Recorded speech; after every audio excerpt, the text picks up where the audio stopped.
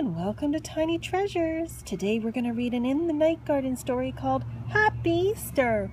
And I know it's not Easter, but we love to do videos on surprise eggs. So I thought we'd read a story about eggs today. Once upon a time in the night garden, Igglepiggle has lost his special Easter egg.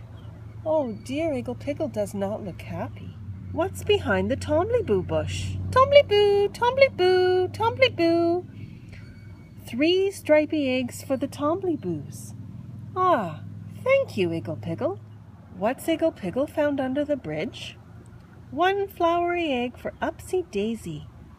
Ah, thank you, Igglepiggle. Upsy Daisy, Daisy do. What's in the trees? Five great big multicolored eggs for the Haw-Hoos.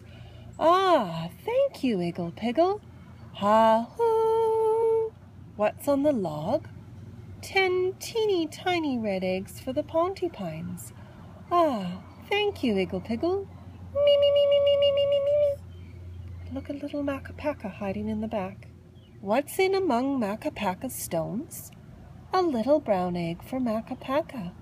Ah, thank you, Igglepiggle. Micka macka moo, egga ping. Wait, what's this? Here's Iggle Igglepiggle's special blue Easter egg.